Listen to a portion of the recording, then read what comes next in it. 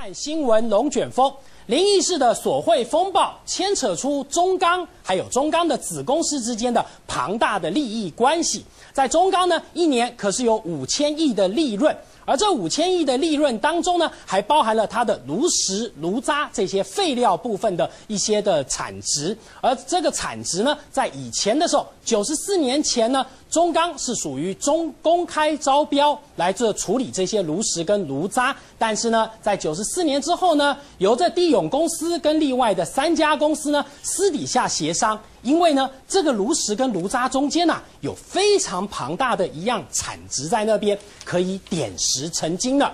我们今天请到了几位来宾，一起来探讨这点石成金的重要的因素在哪里，还有其中的获利部分。为什么地永公司这次陈启祥会这么样的在意这件事情？第一位资深媒体人江中博，立刚，观众朋友大家好。资深媒体人彭华干，立刚好，观众朋友大家好。资深媒体人谢国安，立刚好，各位观众大家好。资深媒体人邱明玉，立刚好，各位观众晚安。还有资深媒体人康仁俊。立刚，各位。中钢一年的产值高达五千亿，其中呢，在炼钢的过程中有许多的下脚料，而这些下脚料可以点石成金，让人觊觎。中博，为什么这些下脚料有这么高的价值，让这么多人抢着会要？哇，最近很流行“肥羊”两个字哈。哇，讲肥羊什么科技大佬是女人心中的肥羊？对那什么是立委心中的肥羊？中钢。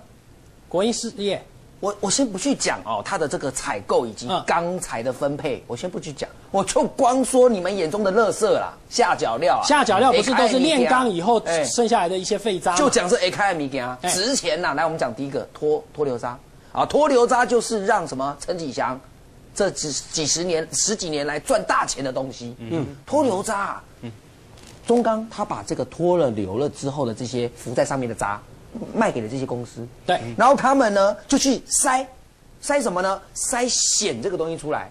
而碱这是什么呢？我们讲白话点，生铁啦，有没有？但是你你做完这件事情之后，就会有很多的什么废的尾沙，就像我们画面中看到这些东西，哎、就乱丢，就乱丢哦，乱丢污染了他不花钱去买的，嗯，可是他筛出来的这些东西卖给日本啊，卖给需要的国家，嗯哼，你知道吗？当地就有人讲，我说哇，以前哦越早做。撸渣做是撸碳级，嗯。啊，他就说像有一个哦姓李的李董啊，哦光做这个，以前一起 Q 笨手哎，阿金骂嘞，易来易去的，业财产是易来易去的，好，脱硫渣各位观众了朋友了解了哈，对。但是八八风灾之后，偷流渣不是那么好赚，还有环保的问题。来，中联中钢的子公司子公司中联，中联。一个叫炉石着石料，一个叫炉下着石料，这两个东西反正都是一样，就像我们立刚兄讲的，就都是炉渣啦，成分不同而已，但是也赚。也赚。哦，像中联，那陈陈启祥不是抱怨吗？哎，委员呐、秘书定啊，啊，你不要每次都把炉石佐石料好的都都被中联拿走啊，留一点好的给我们吧。嗯，你就知道炉石佐石料原来还有分好坏嘞。炉下佐石料也是一样。他也是抱怨呢、啊，中药公司不要再透过这一间的啦，好不好？以前以后直接跟中联拿，好不好？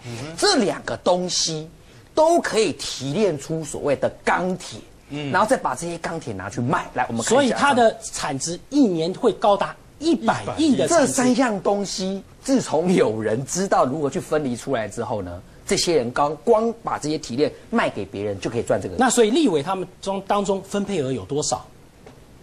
一百亿哦。我就说分个三趴好不好？也有三亿啊，三趴 我说就是分个三趴好不好？来，一般的立委哦，一季可以拿到五百吨。我们讲哦，这些东西一年大概下脚料一年可以拿到五百吨，一年一般的立委他可以分配到的。没错量我就以脱硫渣为例，中钢一年大概就有三十六万吨呐、中钢一年三十六万吨，嗯，那一季呢除以四嘛，啊就是是九万吨一个月三十六万吨。对，啊，不是一年三十六万，一年三十六万那一季就是九万吨嘛，嗯，一季九万吨，大家来分啊，反正这是笨手嘛，对我中央来讲是笨手嘛，大家来分啊，哦，来，你哈、一般的立委，你一季就是五百吨，OK，九、万吨扣掉你这五百吨没关系，我还有八万多吨，还有分配名额，执政党重量级立委，好，比方说干哥哈，他就拿三千吨啊，你没看，弄那么胖，对不对？三千吨，对不对？那部长级的呢，一万吨以上哎，那这每一吨业者可以赚多少？我先不提，嗯，但是假设你是赚，我就是要抽，我就抽那个趴数，再去乘以一万吨，或是乘以三千吨，或是乘以五百吨。我当初选立委开一集，嗯，不用看灯来呀。对，所以呢，这这个下脚料当中，其实还有许许多多的金钱的含义在里面。鸡粪如果不值钱的时候呢，这鸡大便没人要；但是呢，如果鸡粪值钱的时候，鸡不可以随便乱大便。中钢的下脚料在这当中，它的金额产值有这么高。国安，下脚料到底要怎么来赚？你知道叶刚下脚料这个东西呢，它一年可以帮中钢它所这个衍生出来价值是多少？你知道吗？有多少？它包括了这个所谓的炉渣，还有就是这个所谓的脱硫渣这样的一个东西呢，全部的衍生出来，这是之前中钢董事长林文渊跟大家讲的，足足有一百亿元这么多，一百亿光下脚料，光是下脚料所衍生的商机，就是有一百亿新台币这么多。所以刚刚您说的很对，这个。鸡如果呢，这个鸡大便它如果是不值钱的，那鸡到处乱大便可能没有人管。可是如果这个鸡大便呢，它是值钱的，哇，那不得了。鸡不能乱大便。天天来我家大便。对，天天来我家大便好了。对，这个巴不得这个鸡大便全部都在我身上，对不对？然后拿去当黄金来卖。对对，所以这个真的非常重要。当然，中钢呢，它这个在这个事件发生之后，中钢是提出了一个新闻的一个澄清哦。他说，其实呢，在这个下脚料的部分呢，中钢是说，那么扣掉了一些这个运输的成本啦，还有这个金属筛选的成本呢，那么还包括了。这个尾渣处理的成本，还有管理的一些成本哦。尾渣处理的成本，就我刚才讲的，就是乱倒。对对对，就是如果你这个道被环保局罚了，这样也会有一些问题。这些成本扣掉了，他们认为说，哎，其实获利是有限的。但是呢，其实你从这张图大家可以看到，这张图上面可以看到哈，其实呢，中钢每年呢试出了是三十六万吨的下脚料。那么他会把这些脱硫渣还有这些下脚料呢分给地勇公司、台协公司跟大地量这三间公司。那么由于这三间公司大家都知道，每一间能够处理中钢它这个下脚料的公司呢，其实背后呢都有被。背景都蛮硬的啦，对对对对，要有背景才有办法去拿到这些，对对，多多少少嘛，对不对？要靠人家这个这边打通关节，那边又怎么样，所以才能够哎让这三家拿到这个合约。但是这三家拿到这个合约呢，大家也看到中钢是平均来分配的，我一家就是十二万吨，对，一家就是十二万吨。那么以中钢的算法来看哦，大家可以看到这六百五十元呢是。卖这个提炼出来这个咸铁哦，咸铁扣掉这个营运成本之后，它每一吨会净赚六百五十元。那么净赚六百五十元，每一段现在的利润是净赚六百五十元。对，然后大概呢乘以每一家，它是十二万吨的一个每年的一个配额，所以它一年呢它的营业额就是七千八百万新台币。但是呢我们可以扣一下，比如说七千八百万，哎扣掉了这个。陈锦祥那给这个林义士的六千三百万，那么他一年呢，哎，可能只赚到一千五百万。不过我要先跟各位观众朋友解释哦，这个呢，其实所谓的七千八百万，它是这个一年所谓的这个营业额，所以其实要这个是要乘以五的。这六千三百万呢，是他一次给清的，他一次给清其实就是五年，所以事实上呢，这个数字还要再高过现在我们看到这一千五百万了，这是这个数字。但是呢，其实也有另外一个说法是民间的说法。因为呢，我们所谓提炼出来的咸铁，也就是这些废料所提炼出来的咸铁呢，它在这个民间来讲哦，比所谓的回收的废钢料还要值钱。那么因此大家可以看到，这一万两千七百元是民间的利润。那每一吨可以赚这么多呢？乘以十二万吨，事实上呢，每一年地勇公司或是其他两家都可以至少有十五亿以上的这样的一个利润来。它的差了一百，足足差了一百倍，足足差了一百倍。对，那我再跟各位报告，全世界哦，其实进口咸这咸铁出口量，就提炼好的咸铁出口量最多的国家是巴西。巴西。那么国际的咸铁事实上价格非常高，因为在之前可能有一些这个波动的时候，最高的记录呢，曾经卖逼近五百美元一吨，利润高到一一顿卖五百美元。大家可以看到，那一顿其实在。中钢的算法来讲的话，其实咸铁还算保守了。对，咸铁卖出去一吨大概是四千块，四千块台币大概才一百多块美金，所以其实呢，跟国际上的价格来讲。台湾自己来提炼的，事实上比国际的便宜的至少有四倍以上的价格。所以说，你说这三家公司怎么可能不赚呢？所以卖到国外去，它的价值反而还更高。对对对，在这么高的下脚料的利润当中，我们可以注意到地勇公司陈启祥，他费尽心思一定要拿到合约，因为获利太高了。但是大家可以注意到一件事情，陈启祥他在媒体拍摄到的时候，都穿了一件斜纹衫，而这件斜纹衫暗藏了什么玄机呢？我们来看一下。话说狡兔有三窟，巧合的是陈启祥也有三个住处。陈启祥的三个家，老家在嘉义的六角乡，第二个家在凤山五甲八基前的公寓。在六年前，大发工业区的厂房盖好后，陈启祥的三窟让人搞不清楚他到底回到哪个家。车来你，我我就无含你去烧去过。有人要甲你说，还是惊人对，哦，还是做歹代志，厝内头只唔敢动，唔敢困。你踮车内有看人因厝弄门，你才看去。陈启祥不止狡兔有三窟，眼尖的人也发现陈启祥在中钢被拍的照。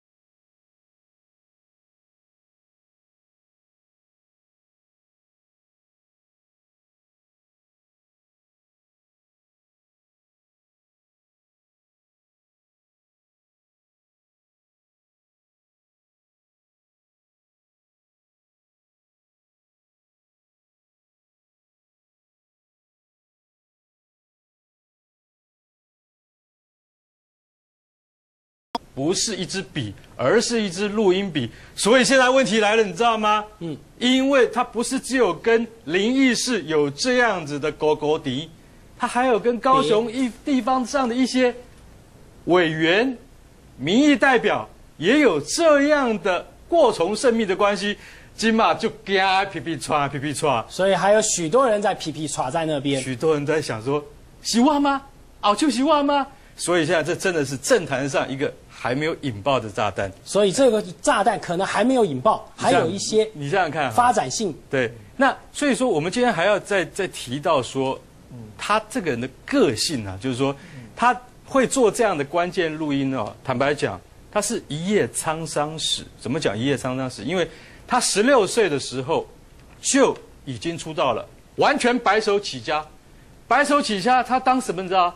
高雄港的码头工人，那个从苦力开始干起，嗯，也就是说他不是他的，他是苦出身的，他是真的是苦干出身的，嗯，十六岁起家，刚刚中国讲很清楚，那个废炉渣哈，就是下下脚料啊，对，在撸渣者撸坦呐，民国六十几年的时候，他已经上亿了，他就上亿身家了，你知道吗？他那时候六十几年他就已经一来一去，易来一去做股票还有 VIP。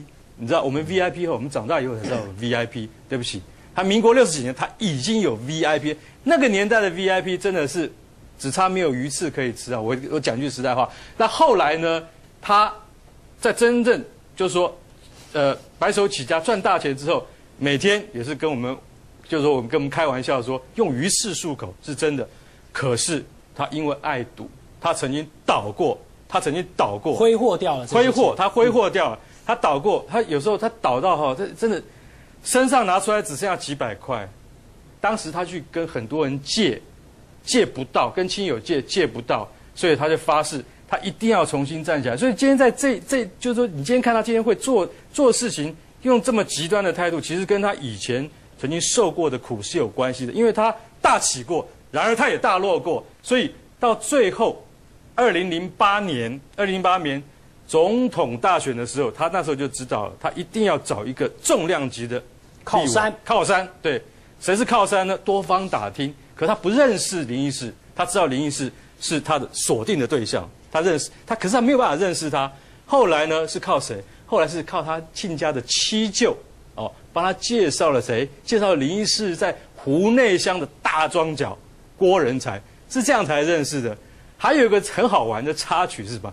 就是说在两年前的高雄市长选举的时候，因为他要维持中钢的料，以及让环保局不要来找麻烦，对不对？啊，我开三四站吧，局记啊，和我记记一面好不好？就说他见市长一面，那市长就看了半天。我们菊姐也很聪明啊，说到底是为什么事情？后来想一想说啊，莫莫莫，所以局记啊，我栽了。